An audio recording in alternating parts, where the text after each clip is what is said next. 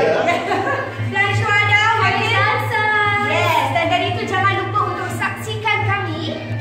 dan 9 September 2017 di Esplanade Theatre Studio jam 8 malam dalam 9 Pakaian Paling Berlalu Selamat 12 Selamat 12